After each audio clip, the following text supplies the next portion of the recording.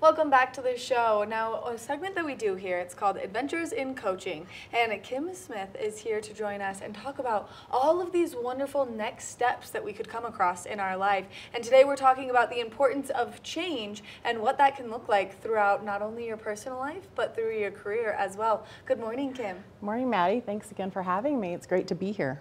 We love having you here only because I feel like you give such great information for not only personal growth, but for professional growth as well. And so you've taken us through some very important steps mm -hmm. already from finding your purpose to making sure what you're doing for yourself and for your career has a meaning to you. Yeah, exactly. We've gone through what it looks like to have a purpose and to define that, as well as trying to start aligning it with you know, what you're doing in your life. And today's topic on change is going to be more focused on our careers. And sometimes change can be scary. So let's talk about what those initial steps of change look like.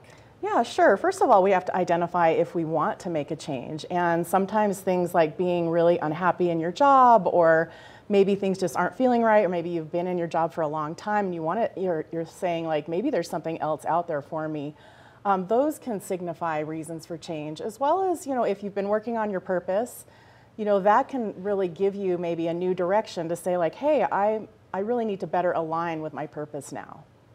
And why do so many people have a hard time making that change when they know it's going to better their lives and better their career path? Yeah, it's, it's a very normal thing to uh, really kind of get stuck when we're wanting to make change because let's face it, we all kind of get stuck in a rut and we get comfortable with what we're doing and it's hard to maybe put ourselves out there and take a little bit more of a risk to better align with what we want to do or to achieve some new goal. And there's a lot of things that you have to put into consideration, and especially if you're mm -hmm. going to make such a large change, because humans, we're creatures of habit. We like to stick in that pattern that we start. And so when you stay with a job for a long time, you start that pattern, whether it's waking up early or it's staying up late. And then to completely switch that can be really scary for some people. So can you give us an example of this? So I like to think of, and I'm talking a little bit more about bigger change right now, um, but the metaphor of maybe climbing a mountain, and I know a lot of people here in the Vail Valley can relate to this. You know, you're at the base of a 14er and you're looking at the top and it's like, it's this huge peak and you're like, how can I make it up there? Am I strong enough? You know, maybe I don't have the fortitude that I need or the training that I need to get up there. And, you know, it's really about rather than focusing just at that top part of the mountain, you know, breaking it into those baby steps. I mean, what do you do when you start to prepare for climbing a mountain? You make sure you have the right equipment, right? You have a map and a compass or a GPS, whatever it is you're using, and you know, food to fuel your journey.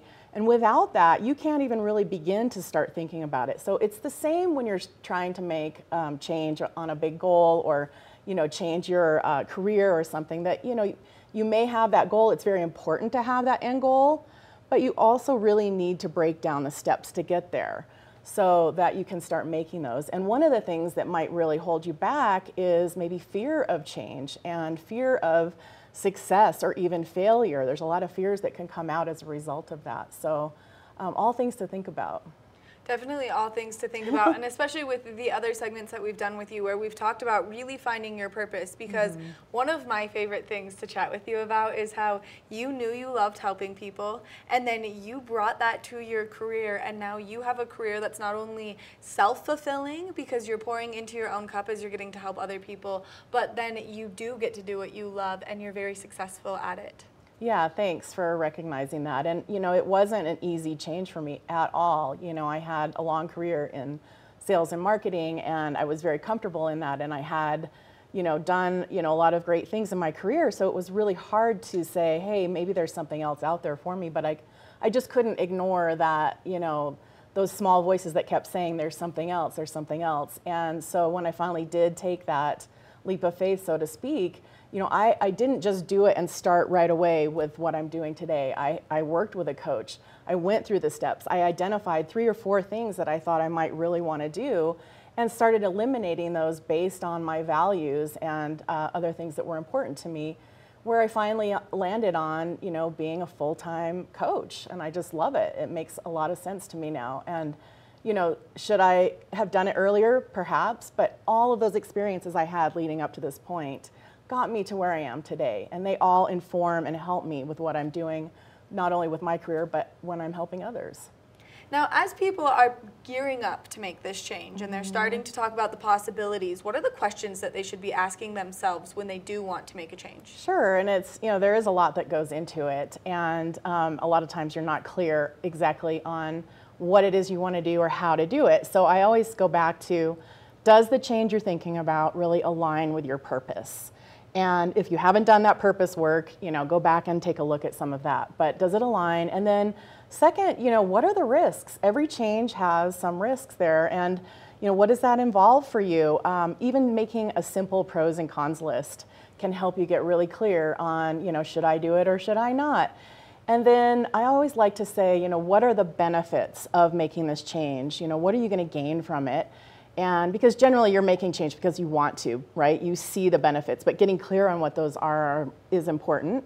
But also, um, you know, what are the costs of maybe not making the change? Like if you're hesitant, like, you know, if I'm going to make the change or if I'm not going to make the change, you know, what is it going to cost me emotionally, basically, maybe um, monetarily? But also, and then I finally say, you know, run the numbers. You know, take a look at the finances. What is it going to cost you to, to make a change? And maybe it's a, uh, you know, a promotion where you're making more money. So that's kind of a no-brainer. But sometimes when we're thinking about making really different, you know, changes where we want to go a different direction, it might mean looking at the numbers and, and looking at a different type of salary for a while. And, you know, what is that going to look like for you?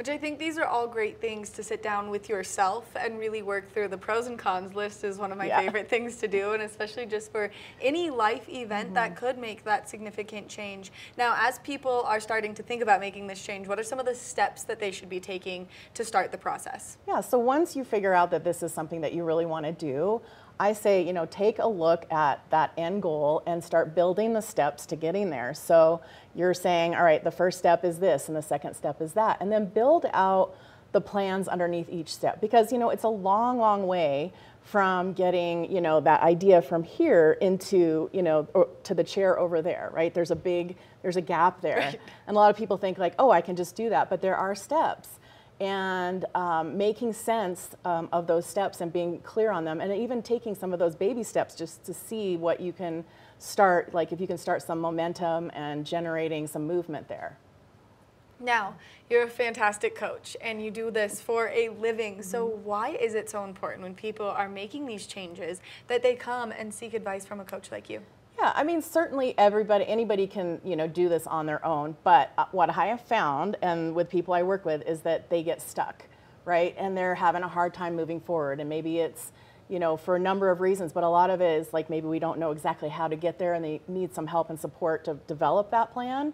But also the other piece of it is we often get stuck because of our limiting beliefs and not believing that we can actually do what we're setting out to do and so that's where a coach can really help you to identify not only the plan and build that out and hold you accountable to those steps, but find out what those limiting beliefs are.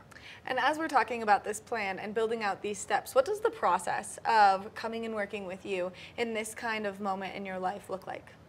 You know, we really start out with um, asking about what you, do you know what your purpose is and what you know what is the plan that you're thinking of, and then I go through an evaluation to take a look at you know the pros and cons and what it might be that you're thinking about and having you look at the finances. There, I can't tell you how many times I work with people and I said, you know, and I say, well, what do you think you can earn doing this? Or what do you think it's going to look like if you decide to do that? And they're, they're just really more going on um, their gut feeling, which is great, and I love that. But let's, you know, take a look and say, you know, what is it going to cost? You know, what does this change mean for you financially? Now, Kim, if people are interested in working with you to have you help them make these changes, what's the best way for them to get in contact? So either go to my website, adventuresincoaching.com, or email me directly at kim at adventuresincoaching.com.